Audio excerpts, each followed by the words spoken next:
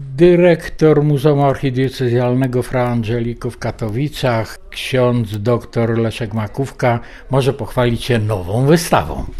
Tak, jesteśmy, mamy nową wystawę, mogę powiedzieć, że jest to wystawa w czasach zarazy. Dzisiaj mamy ostatni dzień, tak było ustalone oczywiście, że mamy dzisiaj wernisaż, ale jutro już by go nie, mogło, nie mógłby się już odbyć. Dlatego cieszymy się, że jest, wystawa będzie oczywiście przedłużona. Pokazujemy młodego artystę, nasze założenie działania naszego muzeum i galerii, że pokazujemy uznane gwiazdy, ale także ludzi zupełnie młodych, którzy są adeptami młodymi sztuki. Często nie mają się gdzie pokazać, a my wyłapujemy dobre nazwiska, dobre prace po to, żeby właśnie to upublicznić i pokazać i być może pomóc tym ludziom młodym w ich karierze. Te y, prace Piotra Kwiatkowskiego, takie monumentalne bym powiedział. Nie podejmując nawet kwestii na razie tematów tych prac, prace są w ogóle duże, format jest duży, jest niezwykła rozpiętość w technice tworzenia tych prac.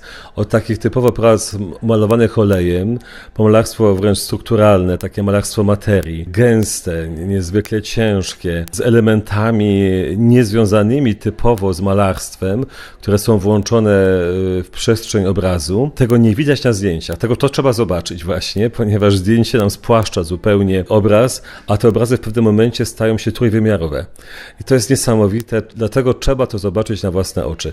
Mówię, to jest niezależnie od tematu, bo tematyka, którą porusza Piotr Kwiatkowski, to jest jego wystawa, zahacza o tematy, które nie są specjalnie popularne we współczesnej sztuce, wręcz nawet gdzieś tam spychane na margines, życie, śmierć, zmartwychwstanie, ale opowiedziane w taki sposób, z takiego punktu widzenia, że widzimy nie tylko głębie artysty, które to wszystko musi w jakiś sposób przetransponować na sztukę, ale odświeża nasze spojrzenie. Trzeba przyjść na wystawę i przekonać się, co ona znaczy. Koniecznie polecam bardzo młody, ale już dojrzały artysta. Wystawa jest bardzo spójna.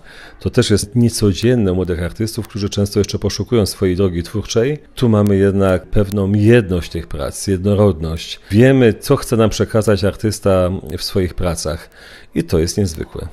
Dziękuję. Dziękuję bardzo. Drzewo punkt. Piotr Kwiatkowski. No jestem zaskoczony różnorodnością tych prac, acz tematycznie są wszystkie zbliżone.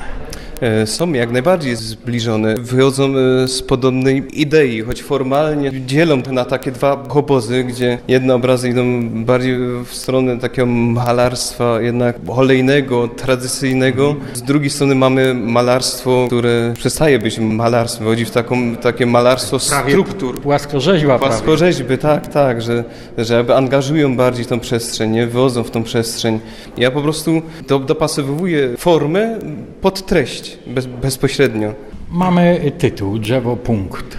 Drzewo Punkt w tym znaczeniu, że w drzewie krzyża zauważyłem jakby taki moment, którym skupiła się cała historia stworzenia, że Chrystus na krzyżu, ja, ja mogę po prostu takie do, domysły snuć tylko, że, że w moim mniemaniu nie czuł tylko i wyłącznie cierpienia, jakie towarzyszą osobom, które doznają takich męk, tylko czuł również po prostu ból, jakby cierpienie wszystkich osób, które na tym świecie chodziły.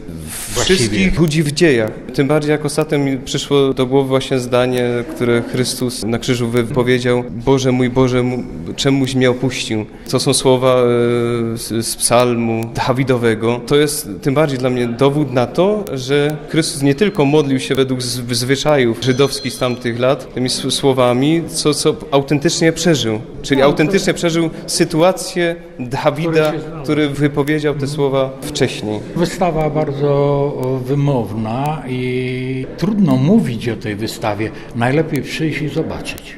Jak najbardziej. Polecam bardzo i zapraszam. Dziękuję serdecznie i życzę pomyślności. Dziękuję bardzo.